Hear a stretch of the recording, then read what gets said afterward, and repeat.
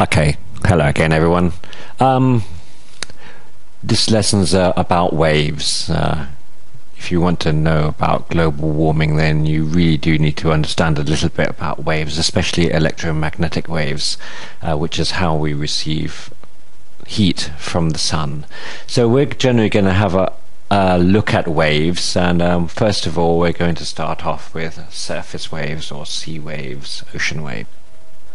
Okay, let's start off by drawing um, a, a, wave, or so, some waves maybe. Rather steep waves. I spent a lot of time working on ships, so I do know quite a lot about waves. Okay, that's okay. That's nearly two waves there.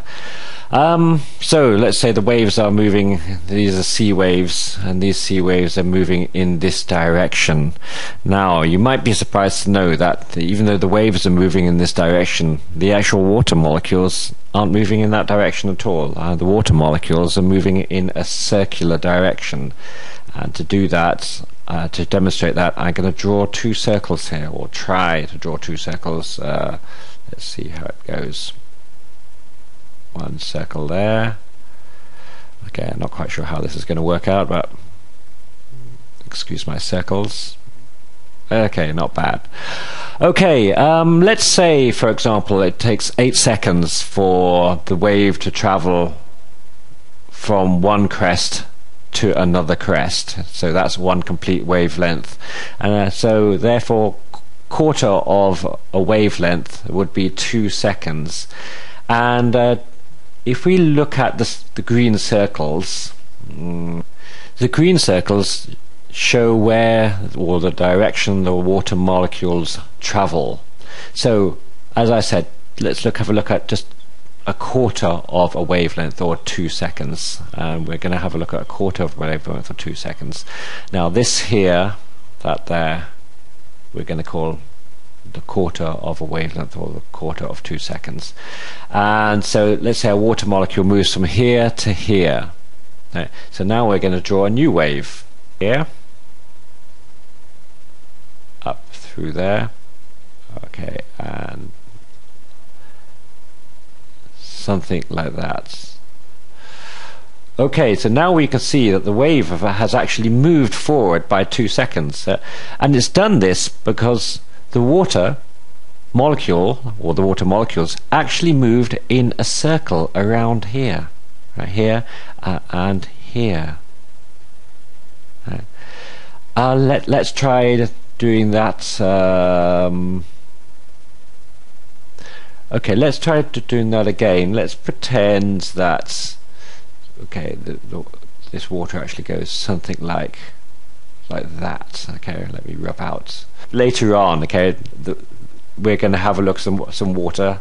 Let's let's say just here moving from here to here right? And we're going to actually see what that looks like yeah. So I'm going to draw another wave going through there whoops. Something like something like that. Okay right. And you can see right that the water molecule moved from here up to here now. Yeah, so and so now this is the new wave. And as you can see you know it looks like the waves are going this way but what is in fact happening is the water molecules are just going round in a in a circle like like this okay I think you get the rough idea so uh, this is zero seconds. This this wave here is one second. This wave, sorry, is two seconds. This wave here is two seconds. This wave here is four seconds. Right, and of course, well, I haven't drawn six seconds in, but there's eight seconds. So from here to here, that's that's one wavelength. Okay, right. And for that to happen, the water molecule would actually have to travel in a circle once. Right. Now, this diagram is a bit um, misleading, really, because you don't ever get waves this high at sea. You know, the waves would collapse. Yeah, um, you know, I've been working on ships a long time, and, and uh, you, you, know, imagine being on a, a, little ship in, in, these waves. That would be quite terrifying. So, you, uh, so in fact, it doesn't quite look like that. And I'm going to change the drawing a little bit um, so that we can actually see um, a little bit more realistically what it's like. And I'm going to start by drawing lots of circles like this.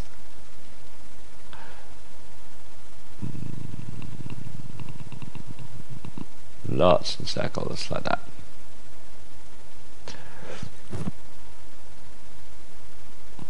Excuse my circles, but you'll see what I'm getting getting at in a moment.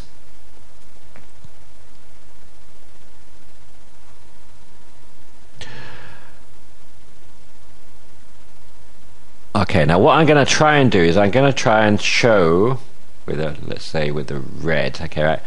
Uh, what actually happens to the waves? Now, each circle, the, I'm going to move the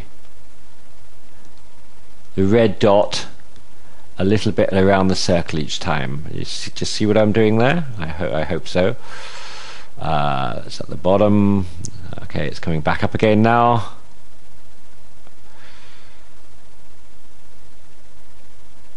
And there, right? And if I join those lines together, and we'll see what happens. Okay, and joining the red dots together, and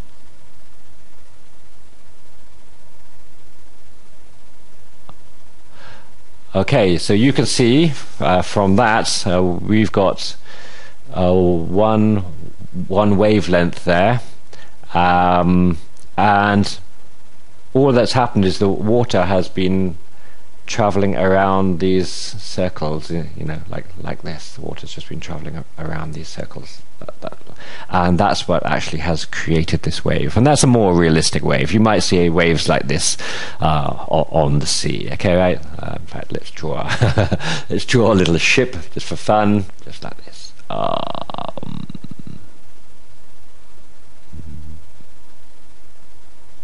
okay, there's our ocean going ocean going ship. Okay, right, yeah. and uh, and there's the, wave. That's still quite rough weather, but you can get a rough idea there of of what's actually happening to the water molecules. The water molecules are actually traveling around in a circle there. So we can see that, you know, with this diagram, that the water molecules are traveling around in a circle. Okay, see you next lesson.